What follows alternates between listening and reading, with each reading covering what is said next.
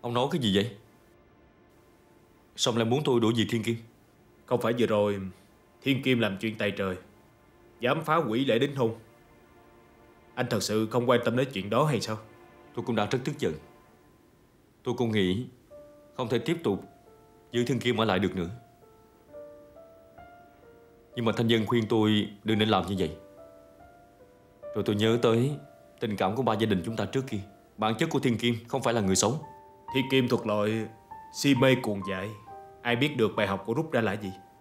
Có thể lần sau Cổ sẽ không để Thanh Dân còn sống Để mà trở về bên cạnh anh đâu.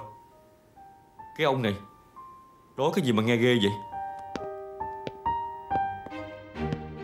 Tôi chỉ đang lo giùm anh thôi. Anh không đuổi việc Thiên Kim Là vì không muốn mất đi một người sùng bái mình như thần thánh. Có đúng không? Nè Tôi thấy ông hôm nay lạ đó.